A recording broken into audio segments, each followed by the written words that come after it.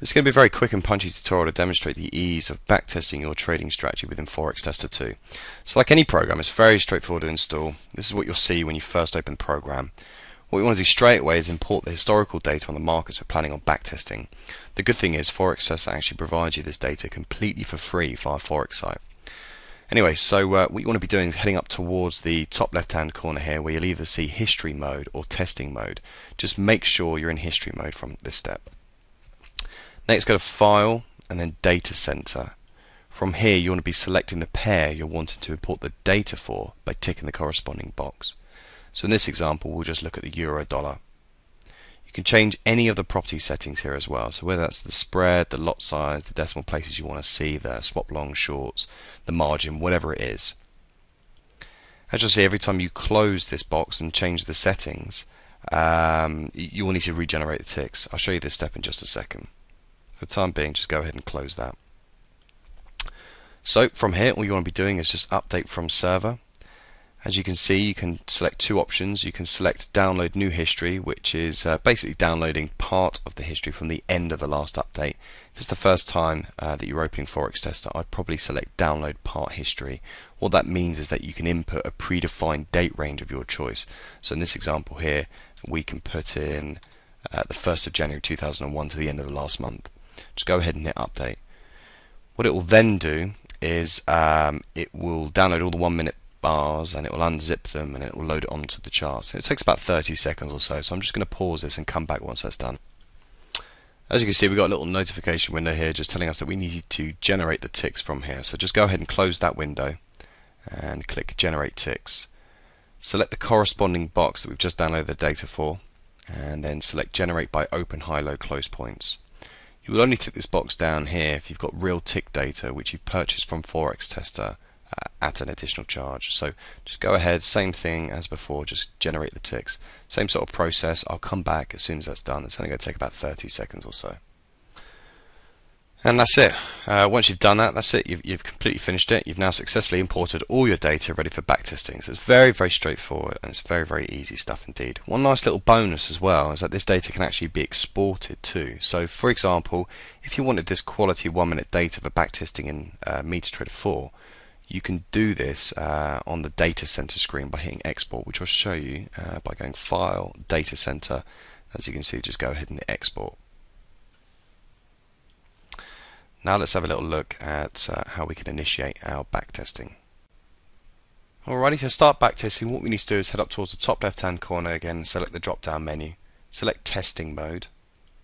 And as you can see, the program will now switch modes. Forget about this notification window because we've just done that. And uh, from here, you may not see any charts already. So what you need to do is select the chart from the tiny little icon just up here on the left. You'll either see a blank chart or one where all the bars have been populated. Don't worry if you cannot see any bars on the chart. It's simply because you have not initiated the backtesting yet. Obviously I have. To start backtesting, what you need to do is just hit Start Test. You basically have two choices. You can start from the first uh, bar in the date range, or you can define the first date to start from. You can preload a set number of days as well. So, for example, if I wanted to preload uh, an entire year from 2001, I can go ahead and just do that based upon this slider here. Make sure the pause mode has actually been selected as well because you don't want price to run away from you. That all makes sense in just a second. So once you've decided how you want it, just go ahead and start testing. And as you can see, it preloads a set number of days there, and that's it, you're done. You can change the chart color scheme as well or any other settings that you like just by right clicking anywhere on the chart and going to chart settings. So very similar to MetaTrader if any of you have used that.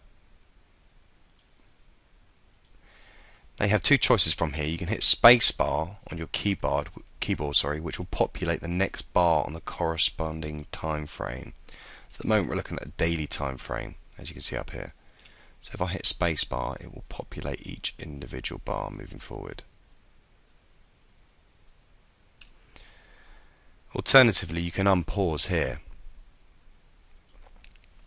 The speed in which price moves relative to historical real time can be controlled with this slider here. You can speed it up based upon the time intervals here. So to give you an example, if we move it down to the 5 minute time interval and I sped it right up, you look carefully, you can see this uh, bar actually developing based upon that speed that we've selected. If I want to go slightly faster, and a little bit more, and go ahead and do that.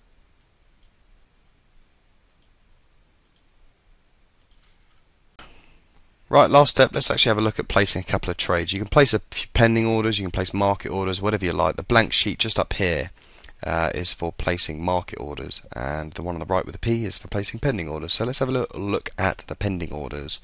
Uh, you can select the specific lot value, entry, stop, and target prices, whatever you like. You can also select trailing stops just under this menu here as well. Uh, you can use these little, little icons just here and what it will do is actually pull price from the market far quicker for you as well rather than having to input it. So for example I can click this little button and it will drag and drop where I want the entry price to be. So let's say it's just beneath the low here. Again for the stop loss I'm going to place that just above the high. If you notice actually one thing uh, look on the right hand side it will tell you how many pips that is away from the stop. So in this example it's 196.9 pips and the take profit again on the right hand side we can see that we're going to try and bag 189.5 pips, let's just say. So I can go ahead and place that, and it will move that pending order just beneath uh, this tab here where it says pending order. So that's going to sit there. Again, we can move the bars forward now with the space, or we can unpause uh, just up here as well. So in this example, I'm just going to be hitting space, and I'm going to populate each corresponding bar moving forward on this time frame. So now you can see that we're actually entered into the position. So it's moved out from pending orders tab to the open positions tab and we can see what our floating equity is as well and how many pips we're up and all the other relevant bits of information. On the profit uh, chart here. You can see very faintly just along the right hand side there that's the floating equity of what actually happened on the next day. And you can see the slight drawdown as well basically how far the position went against us. Going back to the trade let's just see how this plays out. And as you can see as soon as we've hit the take profit target just along the left hand side here all the um, the statistics are basically being populated added up as a, and summarizing what's actually happening with our strategy that we're trying to backtest here. And going back to the profit chart you can see where our balance is closed how far the drawdown actually reached um, and then obviously all the data is actually stored in terms of the trade you took under the account history tab as well